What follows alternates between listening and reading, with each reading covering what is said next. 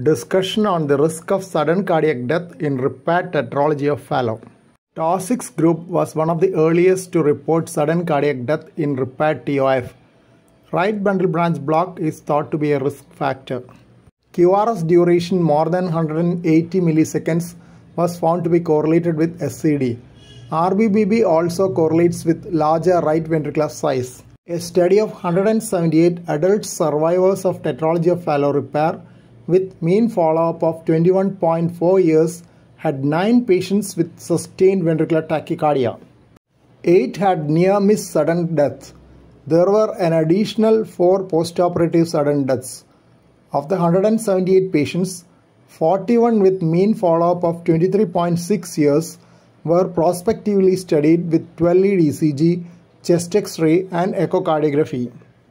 QRS duration in these patients ranged from 90 to 200 milliseconds and correlated with cardiothoracic ratio on chest X-ray and right ventricular size on echocardiography.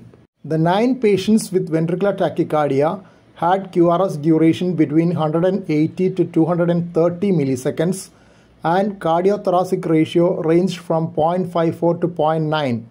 All patients with ventricular tachycardia and the 4 patients with sudden death had QRS duration above 180 milliseconds.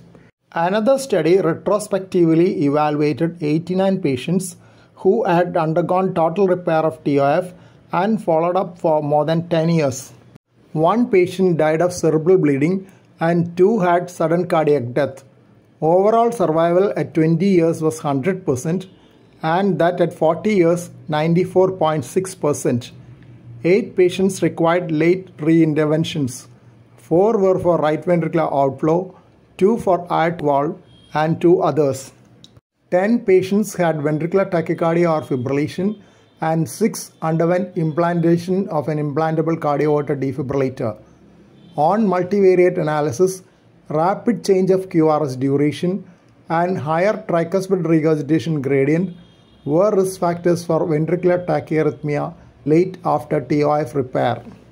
Here is an ECG which is typically seen in such cases of post-repair TOF. ECG shows RBBB with very wide QRS 200 milliseconds, right axis deviation and ectopic atrial tachycardia with 2 is to 1 conduction. In early 70s, the cause of SCD was thought to be bradycardia due to atrioventricular block and bifascicular block was considered to be a risk factor. But later studies thought ventricular tachycardia to be the mechanism.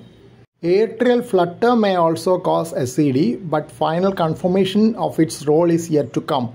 Signal average ECG for identifying late potentials have also been studied, but the results are variable. QT dispersion and JT dispersion have also been used for risk stratification. Electrophysiology study may be useful for risk stratification, being more sensitive but not really specific in predicting SCD.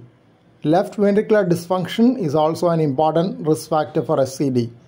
Early surveillance with ECG and echo and occasionally an MRI are needed. Those with severe pulmonary regurgitation and dilated right ventricle need pulmonary valve replacement. QRS with more than 180 milliseconds calls for a cardiac catheterization and electrophysiology study. Please don't forget to subscribe to this channel for future updates and click on the bell icon for all updates. Thank you.